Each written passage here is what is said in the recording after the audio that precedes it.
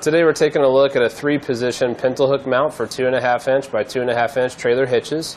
This pintle hook mount slides into a two and a half inch opening to provide a mounting plate for a variety of pintle hooks and combination hitches. The pintle hook mount features four pairs of mounting holes which offers a three position mount. So you have position one, position two, and position three.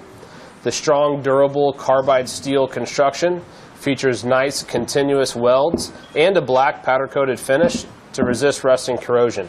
Now the overall length of the unit from very front to very back is about 11 and 1 quarter inches.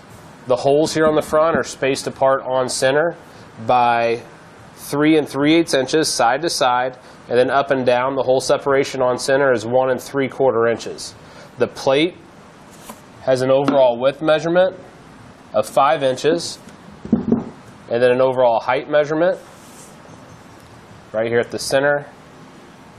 It's about 7 and 1 eighth of an inch. I also took a measurement from the center of the hitch pinhole to the front of the mounting plate and got a measurement of 8.5 inches. It can be used in either the drop position or the rise position, so whatever works best for your application or whatever you need.